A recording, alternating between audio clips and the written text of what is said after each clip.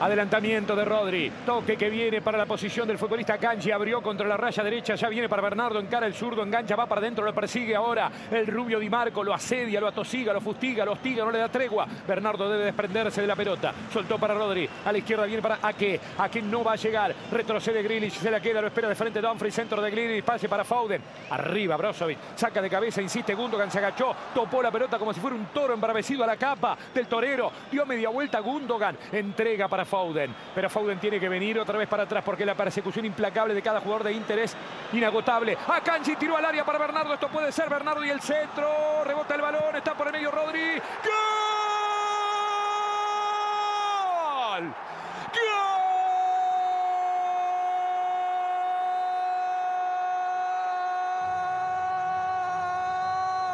de Manchester City de Rodrigo, que se llenó la cara interna del botín derecho de pelota para ponerla abajo contra la base del caño izquierdo. Después de una gran salida, un desprendimiento como un pedazo de glaciar de Bernardo entrando al área, centro de derecha, cayéndose de la cancha, pero dándole vida a un City que llegó con Rodrigo a rematar. Manchester City 1, Inter nada, novedades en la noche de Estambul. Alguna vez Guardiola dijo que la zona más importante de atacar es el sector entre el lateral y el central. Por ahí rompió a Kanji con un pase bárbaro a Bernardo Silva que llegó casi sobre la raya, tira el centro el portugués, piden penal de hecho por un desvío, por una supuesta mano y otra vez soluciones Rodri Sociedad Anónima cuántas veces el español le ha salvado las papas a Guardiola, al City.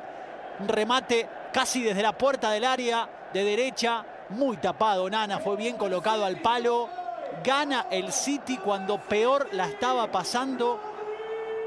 Rodri quedará en la historia por haber hecho el primer gol del Manchester City en una final de Champions. Qué bárbaro, ¿eh? Llegó libre, totalmente libre a definir Pasó por una endija la pelota prácticamente con Chalanoglu, con Darmian, con todos los que estaban ahí petrificados, implorando porque la pelota rebotase en alguno.